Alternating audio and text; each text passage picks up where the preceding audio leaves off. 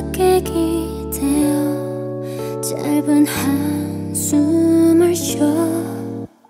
늦어진 공허한 맘 의미 없는 내일에 애써 참.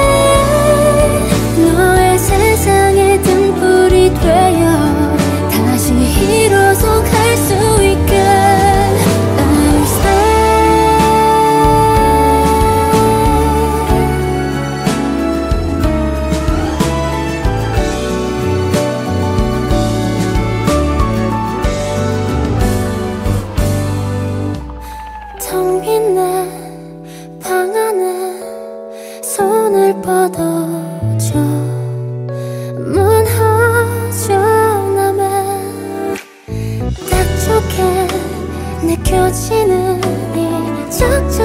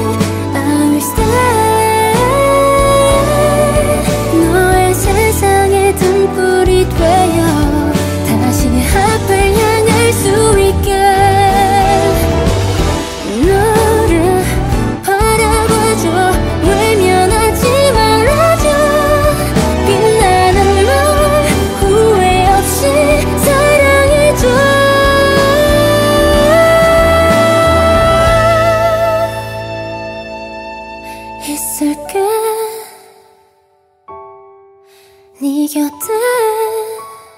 음 길을 잃어도 괜찮으니까 다시